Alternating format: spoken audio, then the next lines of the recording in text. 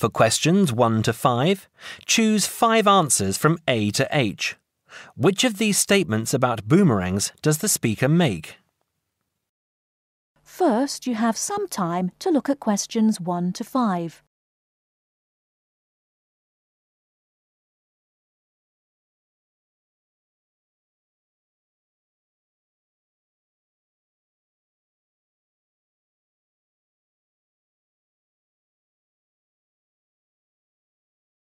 Now we shall begin. You should answer the questions as you listen, because you will not hear the recording a second time. Listen carefully and answer questions 1 to 5.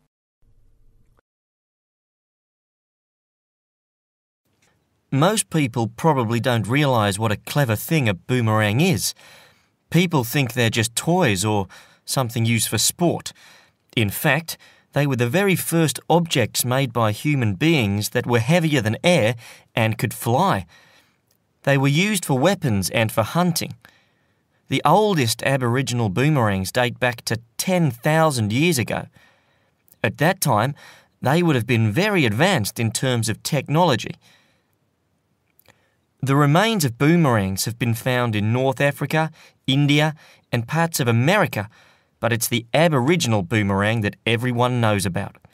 When it's thrown correctly, it follows a curved path and comes back to where it was thrown from. Some boomerangs are only about 10 centimetres long, but the biggest can be over 2 metres. Not all boomerangs are designed to come back to the thrower. Hunting boomerangs some of which are still used by Aborigines in Australia, are designed as flat throwing sticks and are used for hunting. These boomerangs that followed a straight path and flew very fast were actually more difficult to make, and it could be that the famous returning boomerang was actually invented by accident as attempts were made to develop a faster hunting weapon. Nowadays, boomerangs are made mainly for tourists it can be quite difficult to learn to throw one so that it comes back to you, and you may need a few lessons before you can do it properly. Before you hear the rest of the conversation, you have some time to look at questions 6 to 10.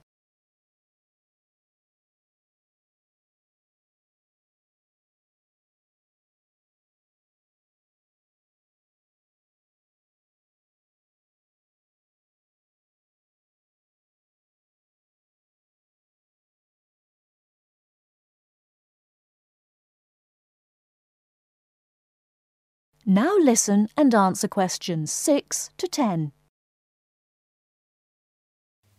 Of course, it's not really clear who exactly invented the television. A number of different scientists and inventors were working on similar projects at the same time. But a man from my country, John Logie Baird, is the man who created the first working television system. He first demonstrated his invention to the public in 1925.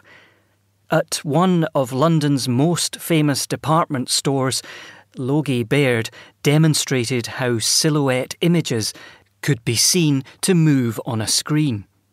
In 1926, he demonstrated his invention again, this time at his laboratory to the Royal Institute and to reporters from the Times newspaper. The quality of the projected image had improved greatly, and the event is considered to be the first real demonstration of a television system. In 1928, Logie Baird developed his invention and demonstrated the first transmission in colour. That is the end of part one. You now have half a minute to check your answers.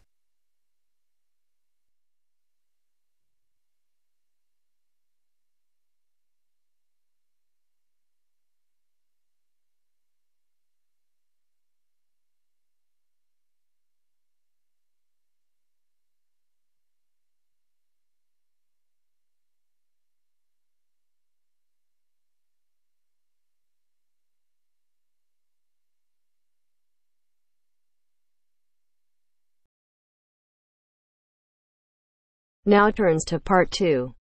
Part 2. You are going to hear a conversation between an interviewer and a professor. First, you have some time to look at questions 11 to 16.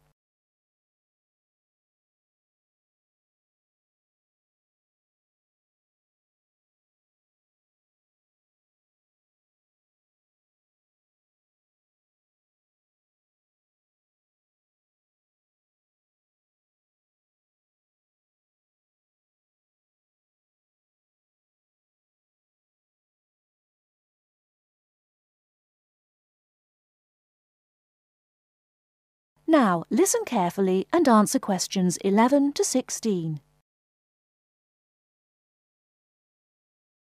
Today I'm here with Professor Nittick, who is our new university president.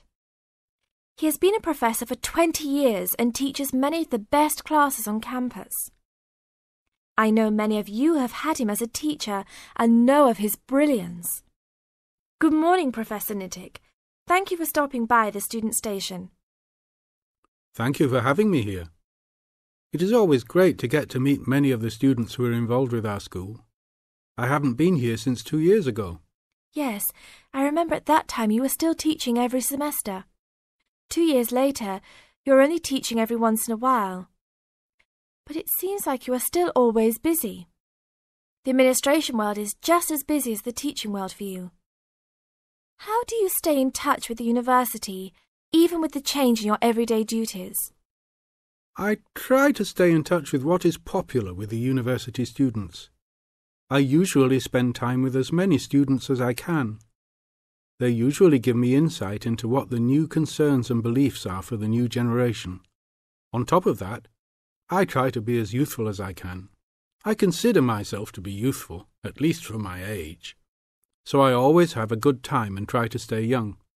I try my best, to not just be a teacher, but also participate in university life. Interesting. So, are you still doing lots of academic work, or are you mostly concentrating on administrative affairs? Well, I mostly do administrative affairs now, but that doesn't mean that I still don't have a very deep interest in academic matters. I often visit other campuses around the world and meet other professors in my field. I learn the most by travelling and seeing the different places of the world and the different fields of thought. I even did a television programme last month in Manchester. Will you be on television any time soon then? Well, you can call the television station and see if I will be on television any time soon. Maybe I will be on the news report. I don't think it is really that significant, though. Oh, really?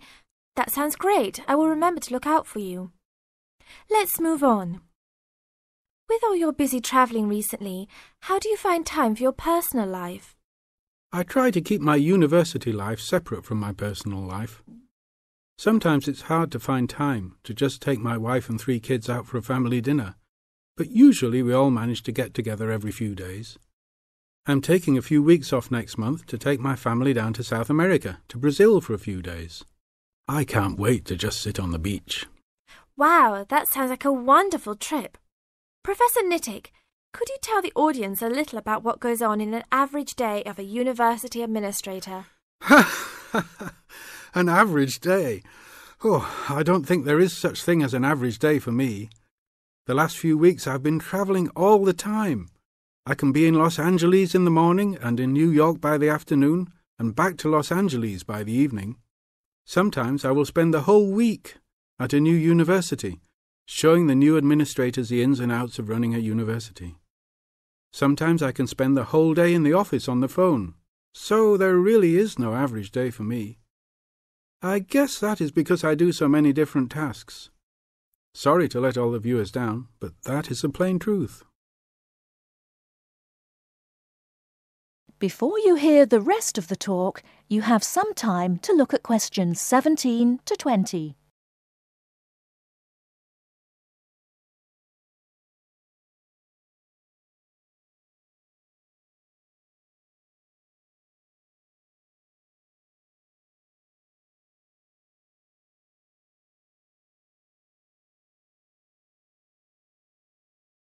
Now listen and answer questions 17 to 20. Well, I guess I can sum it up for them. You are a busy man. That is probably a good description. So, are there any immediate plans for the coming few weeks? Well, I'm in Los Angeles for the next two days, and then I fly to Colorado to meet a new prospective professor for our university. I will be in Colorado for about a week. Then I go to Japan for the next 10 days to meet with our university branch in Japan about record sales there. After that, I return to Los Angeles for a week, just in time for the graduation of the class of 2001. There you have it, my next month's schedule. Thank you very much, Professor Nittick. I always enjoy having you on our show. We hope to have you back on our show next time. That is the end of part two. You now have half a minute to check your answers.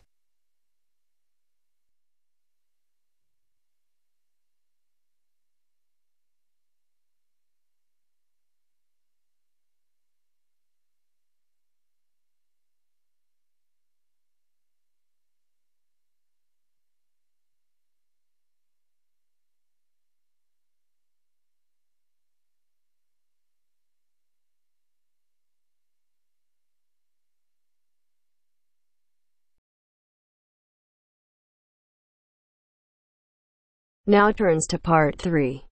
Part 3. You'll hear a conversation between the tutor and two students about the presentation. First, you have some time to look at questions 21 to 26.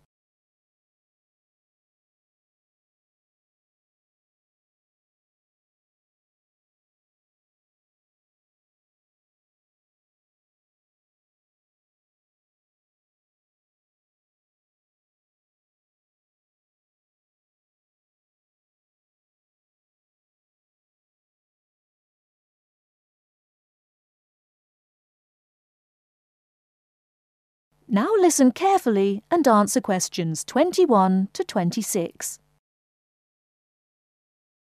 Good morning, everyone. Well, I think we can start straight away by getting Rose and Mike to do their presentation. Would you like to start, Rose? Yes, well, um, we've done a survey on local entertainment. Basically, we try to find out how students feel about the entertainment in the town and how much they use it. Yes, so we've called our project Out and About. Yes, that's a good title, Out and About. We wanted to find out how well students use the entertainment facilities in town, whether they go to see the latest plays, films, that kind of thing. Now we have our own facilities on campus, of course. Yes, we deliberately omitted those as we really wanted to examine outside entertainment in the town. Actually, there were a lot of areas to choose from, but in the end we limited ourselves to looking at three general categories cinema, theatre, and music. Right. Okay, well, first of all, cinema. In the town, there are three main places where you can see films. There's the new multi screen complex cinema, the old park cinema, and the late night Odeon. So if you look at this chart, in terms of audience size, the multi-screen complex accounts for 75% of all cinema seats. The Park Cinema accounts for 20% of seats, and the Late Night Odeon has just 5% of seats. As you probably know, the complex and the park show all the latest films, while the Late Night Odeon cinema tends to show cult films. So, when we interviewed the students, we thought the complex would be the most popular choice, but surprisingly, it was the Late Night Odeon. Yeah, and most students said that if they wanted to see a new film, they waited for it to show at the old park, because the complex is more expensive and further out of town, so you have to pay more to get there as well. Yes, and that adds to the cost, of course, and detracts the popularity, evidently. Well, next we looked at theatres. The results here were interesting because, as you know, there's a theatre on campus which is popular, but there's also the stage theatre in town, which is very old and architecturally beautiful, and there's the large modern theatre, the Ashtop, has recently been built. So you just looked at the two theatres in town? Yes. What was interesting is that there are periods during the year when students seem to go to the theatre and periods when they go to the cinema, and we really think that's to do with budget. If you look at this graph, you can see that there's a peak around November and December when they go to the theatre more, and then a period in April and May when neither is particularly popular, and the theatre viewing seems to fall off virtually, while the cinema becomes quite popular in June and July. Hmm, I think you're probably right about your conclusion. Before you hear the rest of the talk, you have some time to look at questions 27 to 30.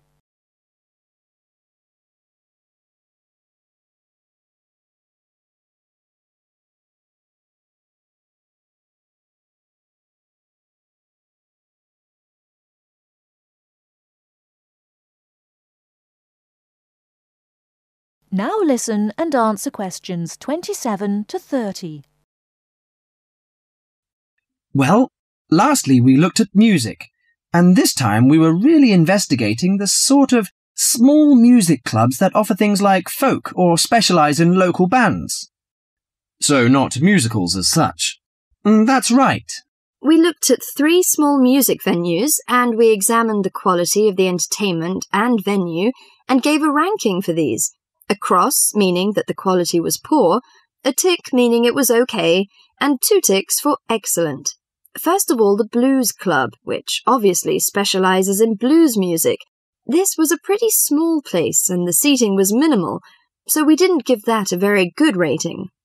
No, we don't recommend that one really. Then the Sunrise, which plays a lot of South American music, was a big place, very lively, good performers, so two ticks for that one. The Pier Hotel is a folk venue, a good place for local and up and coming folk artists to play. Not the best of venues, as it's in a basement and a bit dark, but the quality of the entertainment was reasonable and the lighting was very warm, so we felt it deserved an average rating. Finally, there's the Bald Rock Cafe, which features big rock bands and is pretty popular with students, and we enjoyed ourselves there as well, so total marks for that one. And then did you get any information from the students as to which of the clubs they preferred? That is the end of part three. You now have half a minute to check your answers.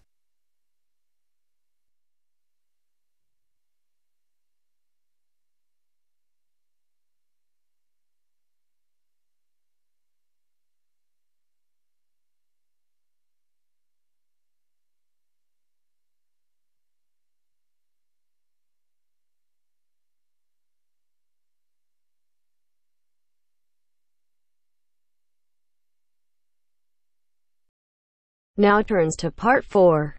Part 4. You will hear a local radio program giving information about jobs that are available in the area. First, you have some time to look at questions 31 to 40.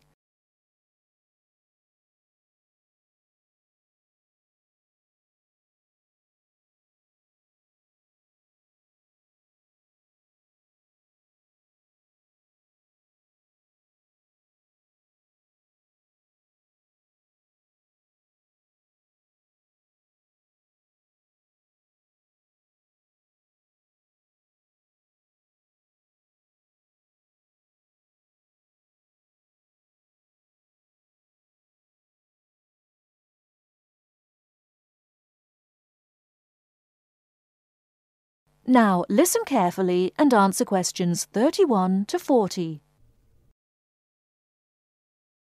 Here's Mandy. Good morning, Mandy.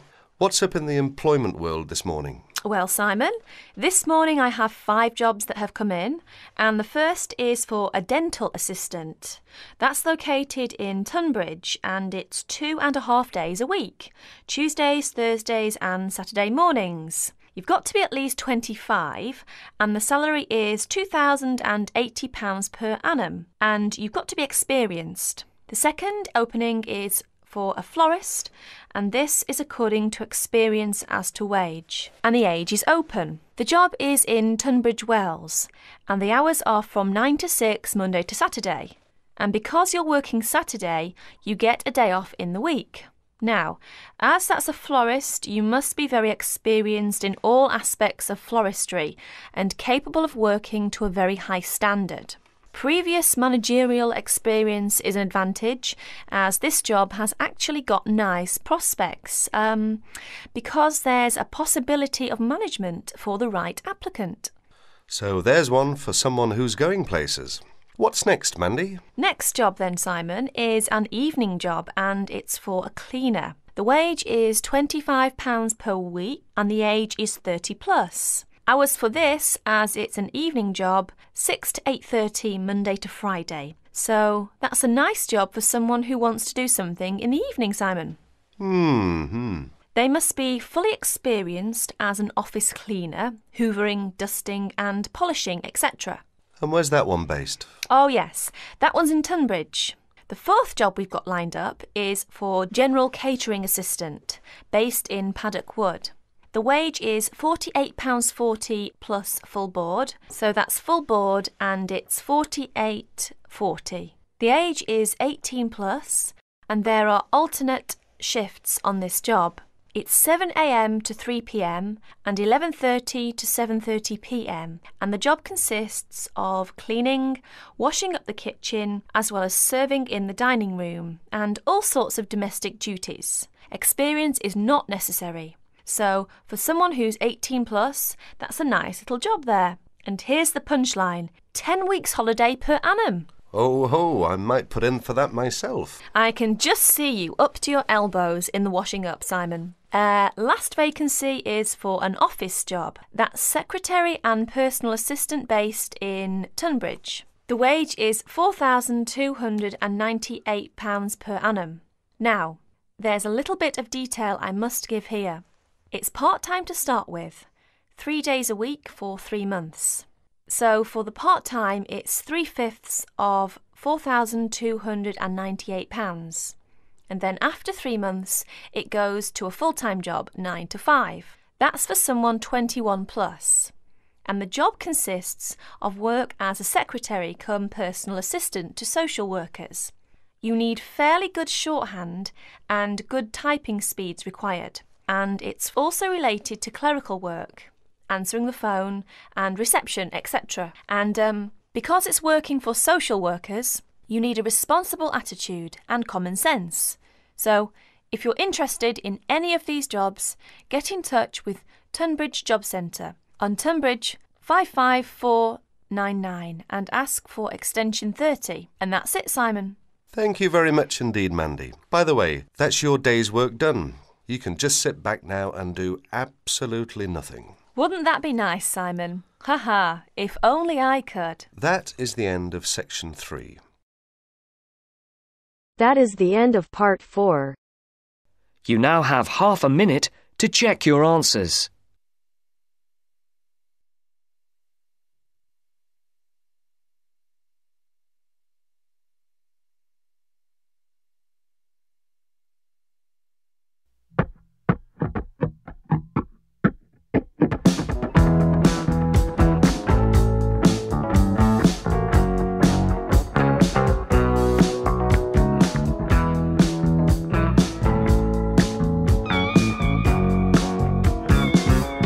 Is the end of the test. You now have 10 minutes to transfer your answers to your IELTS listening answer sheet.